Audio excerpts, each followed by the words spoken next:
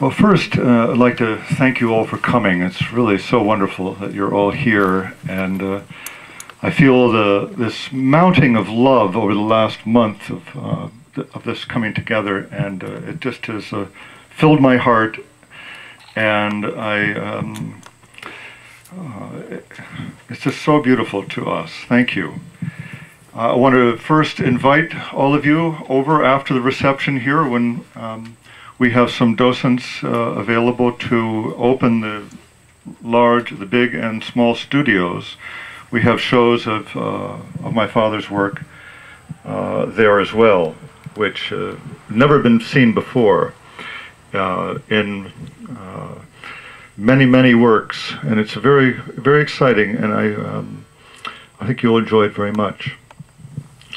I've been asked to tell some, some silly stories.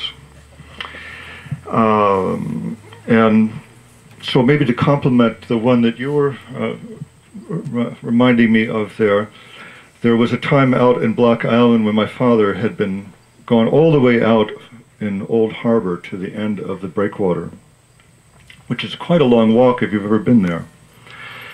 And this uh, this lady he saw from a distance coming, and um, from long ways away, and he you know, could be to know that he was going to have to deal relate to her was um, a lot, and so it, it, it sort of grew on him as he as she came, and finally she arrived and got behind him, and stood there in silence for a while, and he was kind of like. "Mm."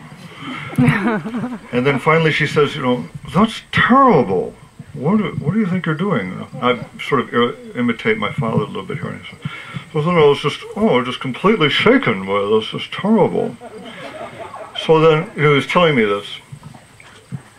So then, uh, and this relates more to Bruce's story, he was um, another day down at uh, Champlin's Pond.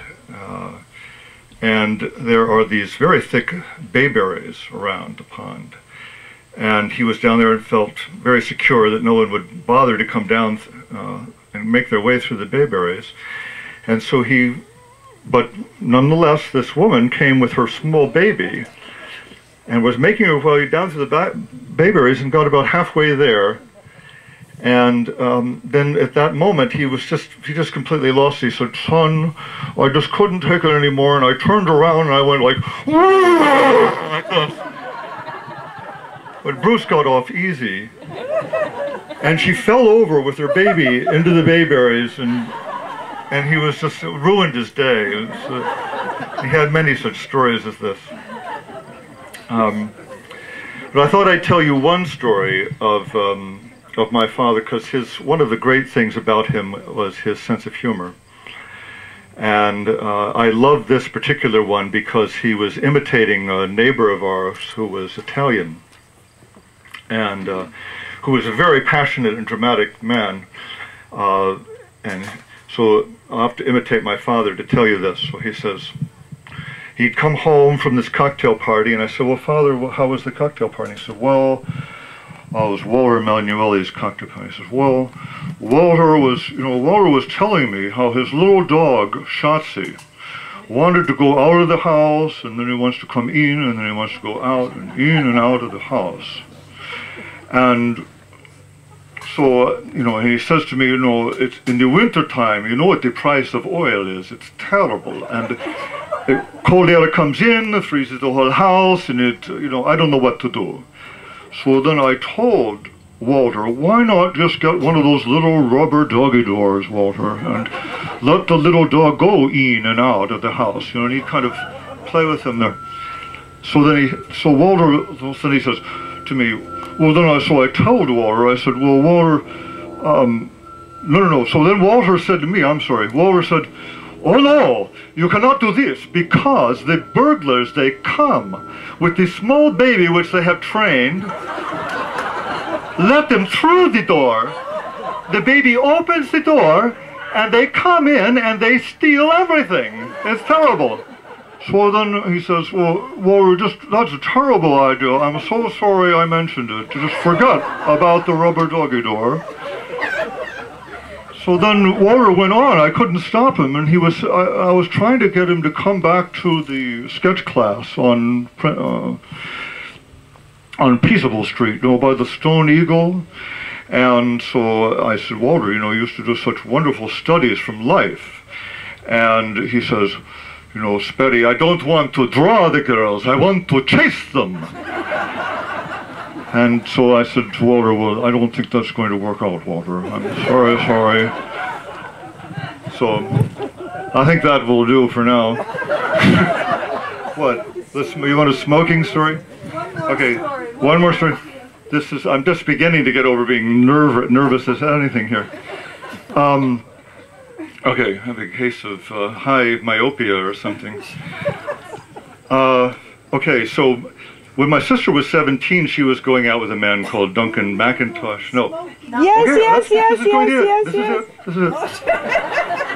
This is it. so he smoked cigarettes, and we thought that that was him being very cool. And coming over in his mother's uh, station wagon didn't seem so cool.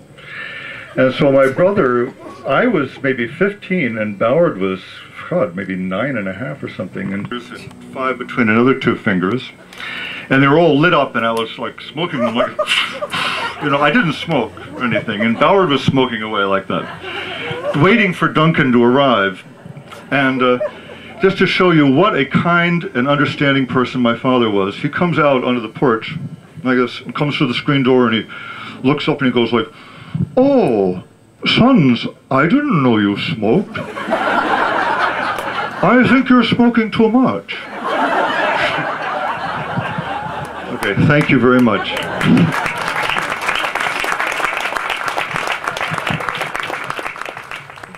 Thank you, Bella. That was very moving. Goodness. Well, my before I tell the story my sister was speaking of, there was just a brief allusion to the uh, use of a space heater. And I was using one one day, uh, working down in the etching room of the small studio, and had gone up to get some lunch. And when I came back, my father said, Sparrow, you've got to watch out there, leave that space heater on because a mouse could get in there and burst into flames and go running out among the canvases and the whole thing would burn down and your father would probably throw himself into the flames and it would be all over.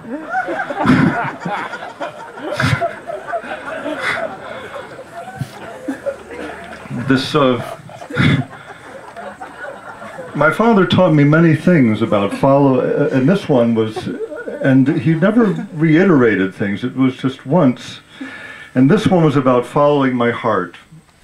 And uh, it was about following his heart also. And he had gotten uh, a phone call that morning from Charlie Ramsey. Are you here, Charlie?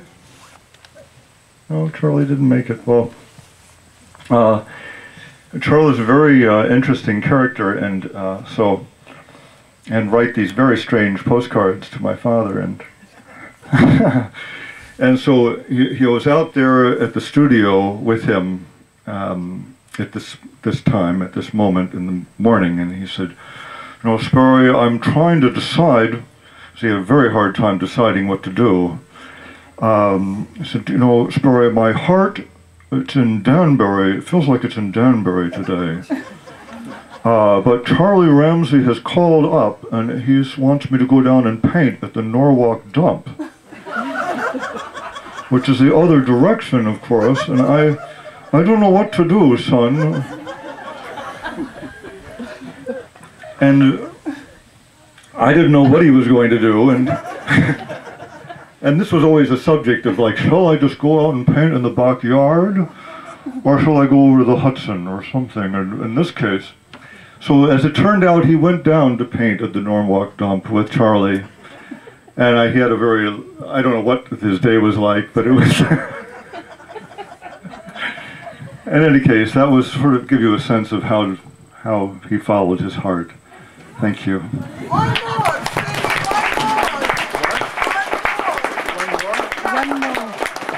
to hear another story? Yeah. So we have the Ten Commandments. Yeah, yeah, yeah, yeah, yeah, yeah. Oh, this is That's really. good.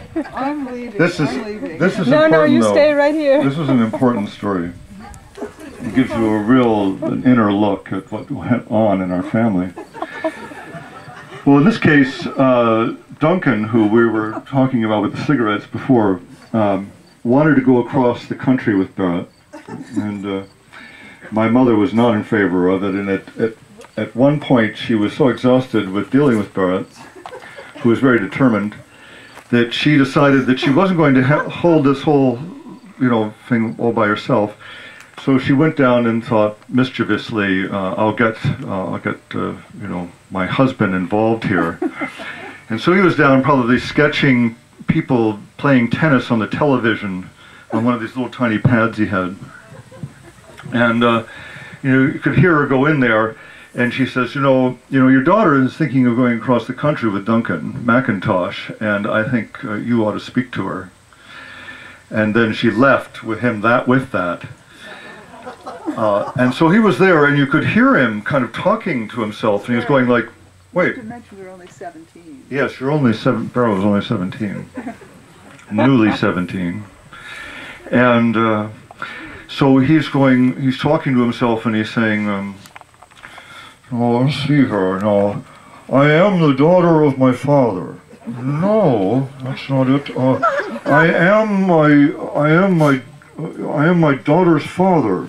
No, that's not it. No, wait a minute. No, my my my my daughter is Barrett, and I am her father. Where is she? I have to find Barrett.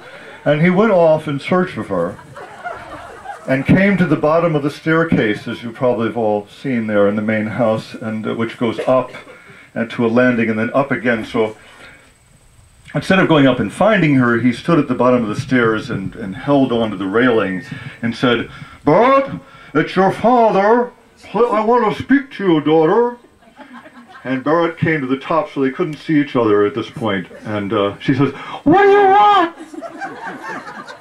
And he says, uh, No, I know I didn't take you all to church or you didn't have any kind of training at all. But I want you to, rem- uh, this may be too late for this, but please just remember the Ten Commandments, daughter.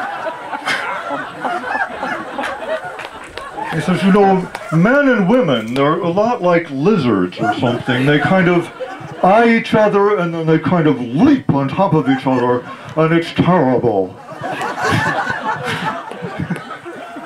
so you please listen to your father now. And at this point, Barrett has come down halfway down the stairs, so she's up here and he's down here, and he's holding onto the handrail and, and, and sort of knocking on it like this, and going, um, "No, please, no, thou, thou shalt not kill. Thou wilt not um, commit adul- what is it? Thou wilt not commit adultery, daughter." Like this. And Barrett, at this point, is tearing her hair out, you know, like this, going, like, "You don't know what you're talking about. Just leave me alone." And so my father said, Oh, please, please, listen to your father, God. Thou shalt not covet thy neighbor's wife, daughter. You're completely insane! Just leave me alone! And she left. Okay. and then he's like, Oh, I don't know what to say to my daughter. It's terrible. And he wandered off oh, no, back to his room, completely unsuccessful. Thank you very much.